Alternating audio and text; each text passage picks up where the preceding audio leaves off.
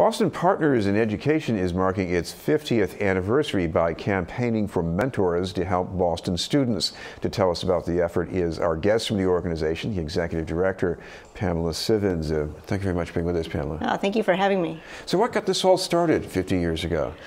Yeah, there was actually a movement in the US around getting community members involved with urban public school systems. And so we're not the only one that exists. If you go to Cambridge, there's something called Cambridge School Volunteers. We were originally known as School Volunteers for Boston, and we changed our name to Boston Partners in Education in the early 1990s, uh, wanting to involve more corporations. So it's it's there are these organizations that have been around for 50 years around the country.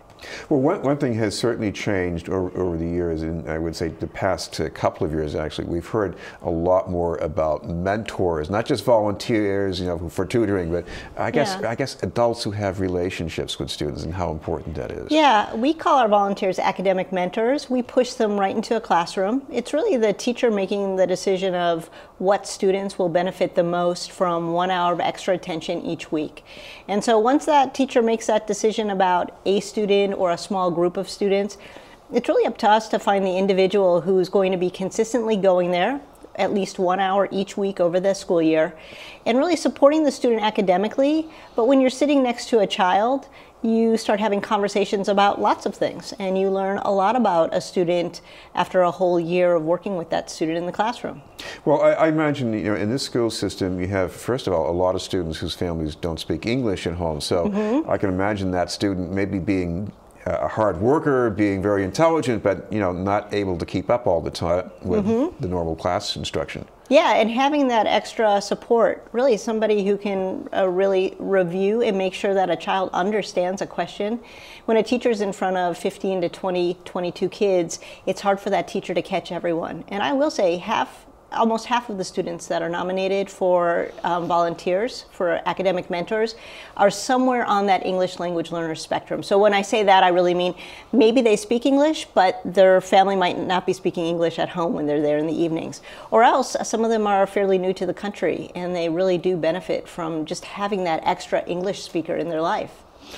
We're talking with uh, Pamela Civins from Boston Partners in, in Education. Um, talk about uh, how, how you match up volunteers to students. I'm sure you're not just tossing people in the mix willy-nilly here. No, not at all. We've got, it's really two-pronged. So first, like I said, a teacher will nominate their students. And when a teacher nominates their students, they're really sharing with us, so what are the issues that that student has? It could be that student speaks English as a second language.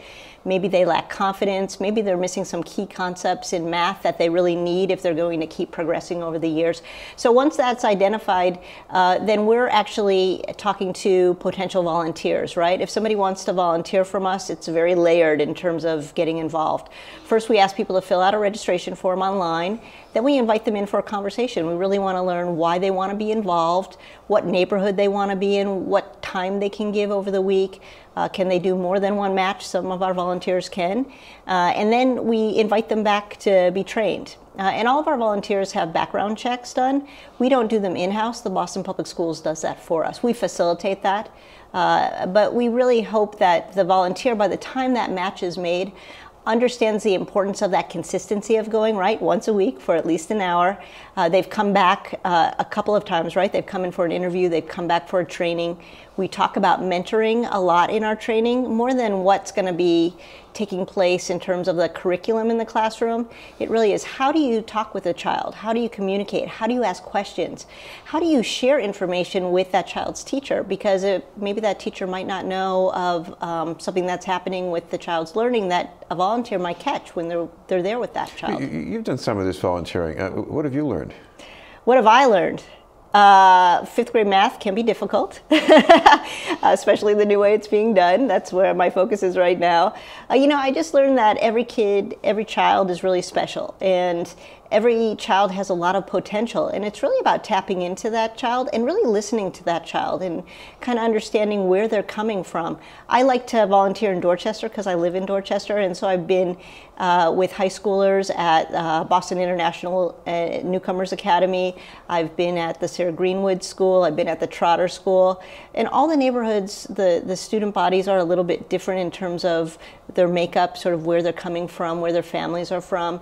And so it just really helps me to learn about who's in my neighborhood, who who's our future. These children are our future, uh, and just the energy and the brightness that they have in them, and really the really wanting to learn and progress and be successful in life, just like everybody else.